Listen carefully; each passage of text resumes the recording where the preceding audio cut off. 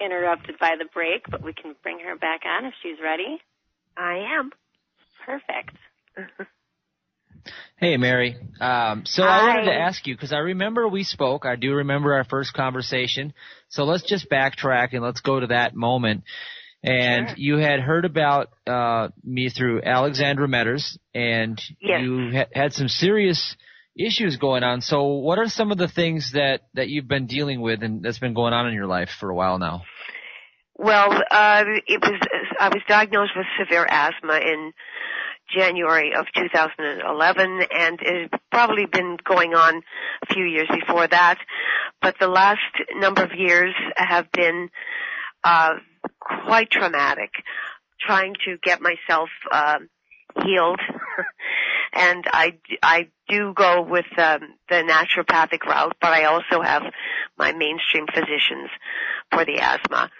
Um, so in 2014, I went through six hospital visits at three different hospitals.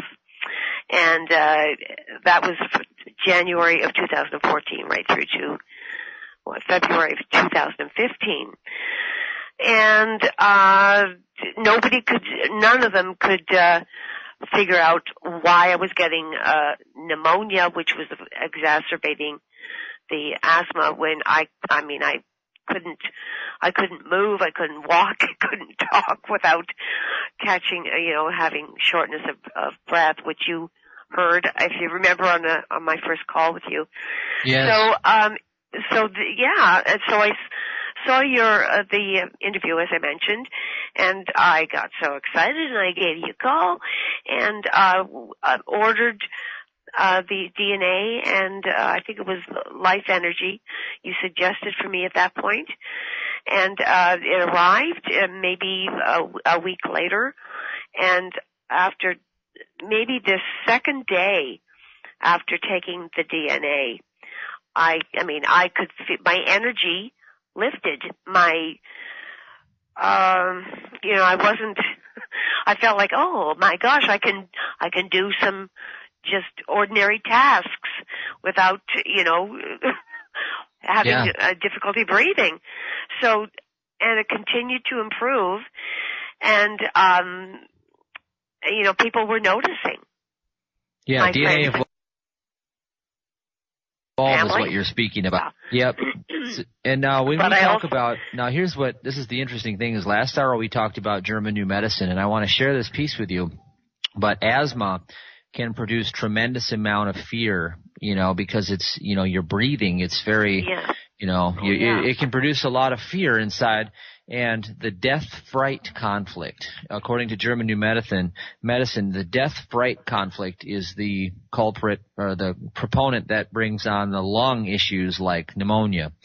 So when you have when you have this conflict of uh, I'm afraid I'm going to die, it's the fear associated with that conflict that is the precursor to the pneumonia, according to the German new medicine. So I Oh, I just wanted to add that in there because it's I think it's an important piece to to uh, to the puzzle.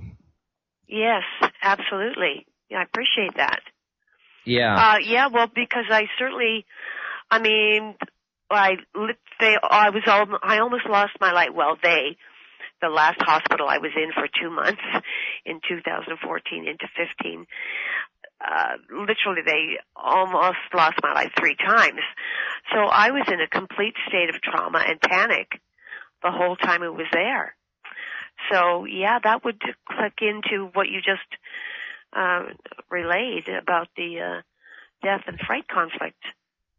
Yep, that's true. And then, you know, being in a hospital can also be an existence conflict because, you know, that's, there's, there's these different conflicts. I mean, the hospital itself is, is not really the place of, you know, I, where you feel safe because usually when you're there, you know, it's a lot of poking and prodding going on and, you know, research being done on, on patients and it's not much love and TLC from my perspective. I've been in and out of there No. dozens of times. So Yeah, I mean, I have to thank uh, the the handful of nurses and staff who were literally saved my life, got me through that particular episode. I mean, if it hadn't been for the few people who had their wits about them and had, you know, had a heart and soul. Yeah. Not only were they, you know, I wouldn't be here. So I have a lot of people to be grateful to for all of this. But uh, I, I just thought it was amazing how the DNA evolve just was that added um, element that needed that I needed to move forward.